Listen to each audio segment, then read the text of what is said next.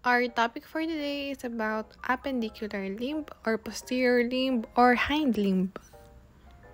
The pelvic girdle or os coxae is comprised of ilium, ischium, and pubis.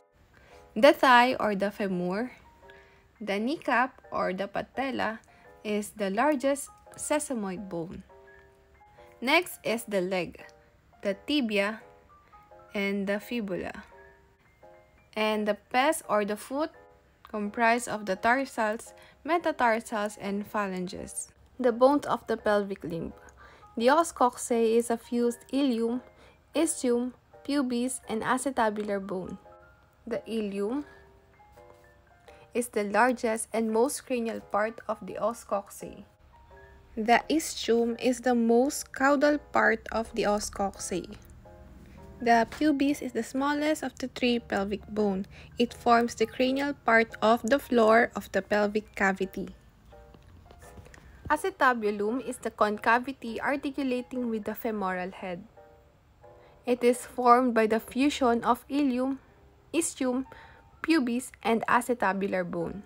The obturator foramen is the largest opening at the floor of os coxae. Comparing the os coxae of different animals. The os coxae is the largest flat bone in the body. We can identify them by the size and shape. The os coxae of dog, cats, and pig. The gluteal surface is facing laterally. While in the cattle, the gluteal surface is facing dorsally. In the dog, the wing of ilium is distinctly concave and has more than one gluteal line. In the pig, the wing of ilium is divided into two fossae by distinct gluteal line. In cattle, the wing of ilium has one gluteal line. Three prominences on ischiatic tuber. The obturator is wide and sharp medially, and the pelvic symphysis has distinct ventral ridge. In the horse, the wing of ilium has one gluteal line. Next is the femur or the round bone. This is the heaviest and the largest bone of the skeletal system. The proximal end of the femur has nearly spherical head that articulates with the acetabulum of the os coxae to form the hip joint. Comparing the femur of animals. In cattle and horse, the greater trochanter is higher than the femoral head. The difference between the cattle and in the horse, in horse, there is a third trochanter present. In cat, dog, and pig, the greater trochanter is same level as the femoral head. In the cats and dog, the shaft is cylindrical and curved, while in the pig, the shaft is distinctly quadrilateral. In the tibia and fibula, these are the bones of true leg, or the crus, the portion of the pelvic limb between the stifle and the hock. The tibia, or also called as shin bone, is the larger of the two, while the fibula, or also called as calf bone, which is much smaller and lies on the lateral side of the leg. Tibial tuberosity is the large proximal cranial process where the muscles and patellar ligaments attach. The lateral malleolus is the distal end of the fibula.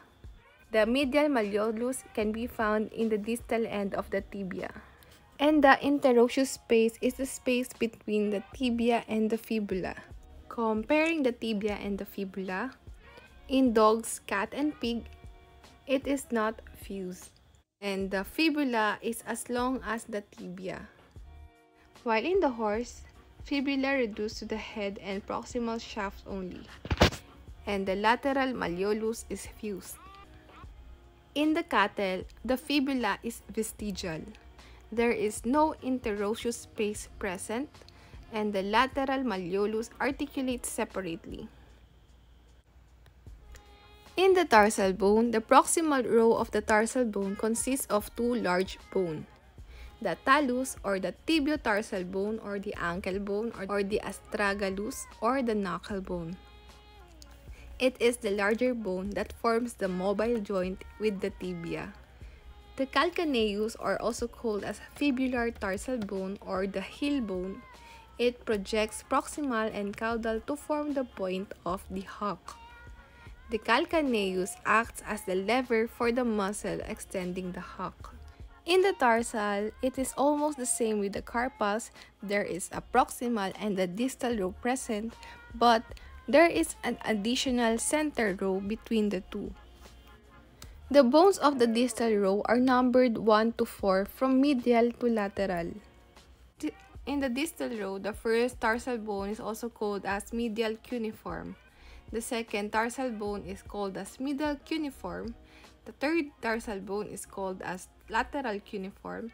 And the fourth tarsal bone is called as cuboid. There are seven tarsal bones in dog. In horse, there are six tarsal bones. The first and second tarsal bone are fused.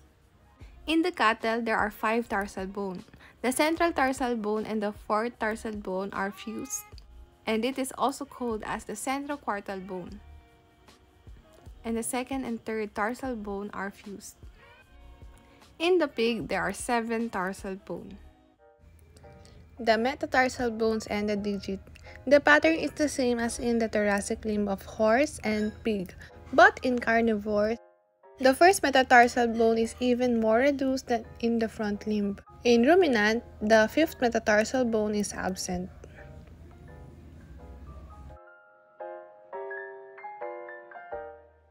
Thank you so much for watching and this video is sponsored by Patreon subscribers.